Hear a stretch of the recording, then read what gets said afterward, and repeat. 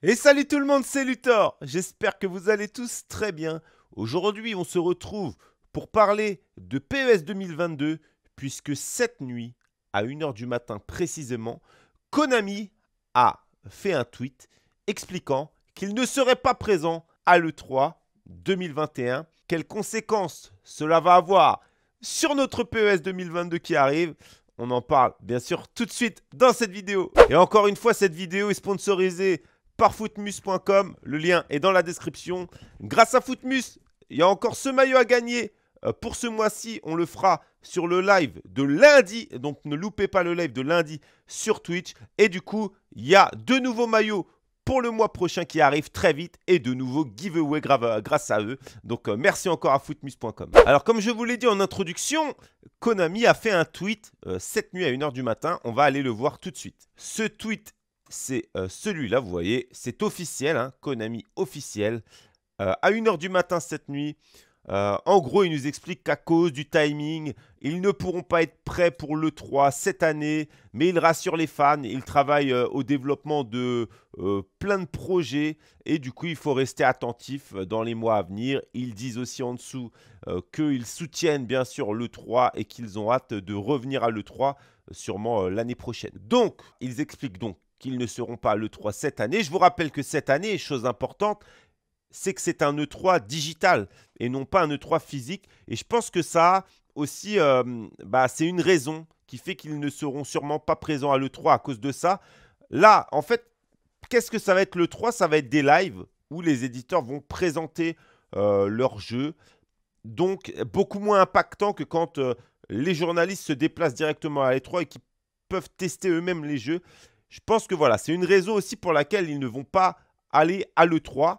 Maintenant, est-ce que ça veut dire qu'ils ne peuvent pas présenter leur jeu autrement? Bah non. Voilà, c'est pour ça que moi, ça m'inquiète pas plus que ça. Je sais qu'il y en a qui font leur choquer, euh, qui sont euh, surpris. Oui, mais euh, pour moi, ça ne veut rien dire. Et encore moins pour PES 2022. Qu'est-ce qu'ils ont maintenant? Les grandes licences de Konami, on l'a vu cette année, enfin, ou plutôt l'année dernière, il y a eu très peu de jeux. Finalement, à part PES, il y a eu, je crois, un Bomberman qui n'a pas super bien marché. Euh, dans les tuyaux, ça parle peut-être d'un Metal Gear qui serait peut-être annoncé, etc. Donc en fait, très peu de jeux. Est-ce que ça vaut le coup d'aller à l'E3 si c'est juste pour présenter PES Je ne pense pas. Est-ce que ça veut dire qu'ils ne vont pas présenter PES avant? Bah non, du coup, rien n'est moins sûr. On pourrait très bien voir une présentation et, des teasings et de, nouveaux, euh, comment dire, de nouvelles images, euh, un nouveau trailer. On pourrait très bien les voir, notamment au courant du mois de mai. Moi, je pense que c'est tout à fait possible. Je suis sûr, en tout cas, après, c'est un avis personnel, qu'on va avoir des nouvelles de PES 2022 mois, mois de mai, mois de juin. C'est sûr. C'est impossible qu'ils attendent l'été. Alors cet été, ça pourrait être quoi? Ça pourrait être à la Gamescom. Après, je ne sais pas si elle est maintenue, la Gamescom de Cologne, qui a lieu au mois d'août. On sait qu'ils y avaient participé euh, les années précédentes. Mais je pense qu'en général, ils présentent le jeu à l'E3. À l'E3, il est déjà testable, puisque nous, on l'avait testé avec Sofiane en 2019. Et après, à la Gamescom, là, c'est ouvert au public et tout le monde peut tester. Voilà, en général, ça se passe comme ça. Il y a des rumeurs qui disent qu'il euh, y aurait certains Brésiliens qui recevraient le jeu courant du mois de juin pour le tester. Donc ça aussi, ça corrobore euh, bah, mes suppositions. Donc pour moi, je pense des images, un trailer peut-être au mois de mai, juin. Les débuts des tests privés au mois de juin.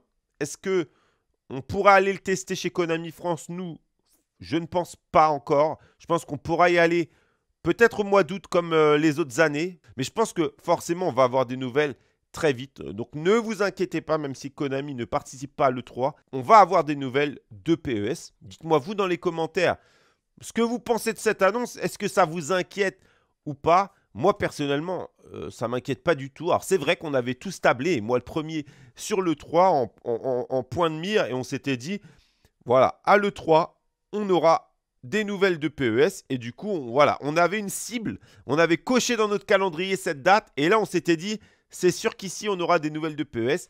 Alors, ce ne sera pas là, mais ça pourrait très bien être plus tôt ou plus tard. Voilà. Euh, après, on ne sait pas ce qui va se passer avec euh, PlayStation et Xbox.